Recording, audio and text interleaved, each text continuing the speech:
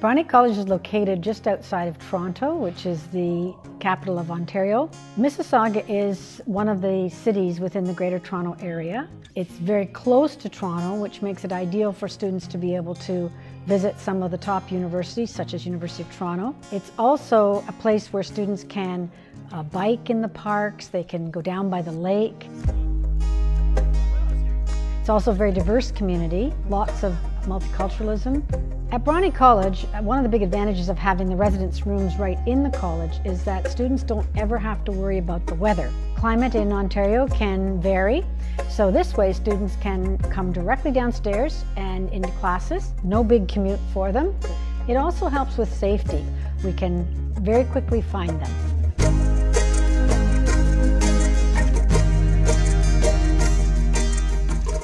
Residence rooms come in double and single. And we also have some quad rooms that some students like to take advantage of where four students can be in a room. There are boys floors and girls floors and all the residence rooms are wireless so students can study in the comfort of their rooms.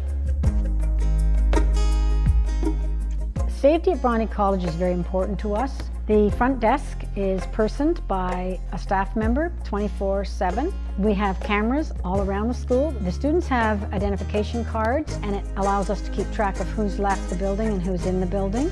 But we do have curfews that say that the students must be in the building by curfew. We also have resident staff that are on site we recently updated our library so that there were digital resources as well as hard copy resources. And in the evening, the library runs with a qualified teacher. All food is prepared by our chef.